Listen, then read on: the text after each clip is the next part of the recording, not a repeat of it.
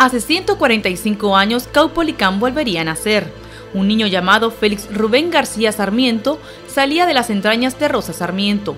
Nació en Metapa, hoy Ciudad Darío, pero creció bajo el calor de esta casa en León. Pasados los 40 días que antes se guardaban después del parto, regresa Rosa a esta casa y aquí Rubén vive hasta los 15 años y una época, un corto tiempo que estuvo en San Marcos de Colón, pueblo cercano a la frontera de Honduras, del lado hondureño con la frontera nicaragüense. A la corta edad de 13 años, Rubén anunció su talento con diversos versos, proclamándose desde entonces el poeta niño. Años después, haró su camino al modernismo. Él le dio mayor brío al español, le dio verdaderos matices de belleza, lo renovó completamente y renovó la métrica del verso y creó una forma de expresarse moderna que todavía está vigente. Azul le dio la luz en 1888 y detrás del periodista, diplomático y poeta se fue mostrando un creyente de la justicia social. Cuando le reclamaron que por qué se decía él que era el poeta de América,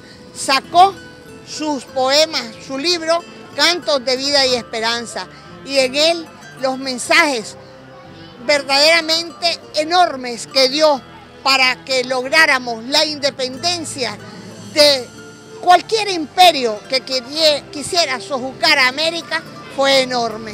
En su antiguo hogar aún se conservan más de 200 documentos originales.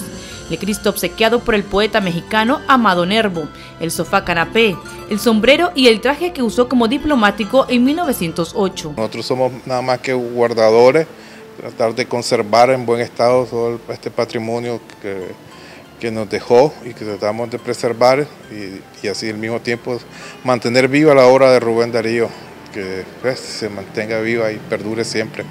El mismo lugar que lo vio crecer también lo vio partir. Es la Catedral Leonesa, su santo sepulcro. Fue allí donde sus restos fueron depositados en 1916. Y esto significa lo que es el león, es el pueblo de León, y el llanto, el lamento que tiene el león en su semblante es lo mismo que iba a tener el pueblo a la hora de la partida de Rubén Darío. Estamos en la acera de la, de la cultura. Esta verdaderamente es lo, mayor, lo, mejor que nos puede pasar a nosotros los leoneses porque somos verdaderamente hijos de Rubén Darío. Muy orgullosa porque tenemos a nuestro poeta nicaragüense que nos llegó a representar muchas veces a diferentes partes del mundo. Es un hombre formidable, digamos, con una gran visión, un artista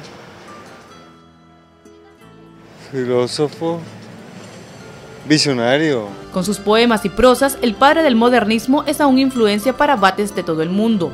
El príncipe de las letras castellanas, aunque lejos de nosotros está, guardamos un gentil pensamiento a quien un día nos quiso contar un cuento.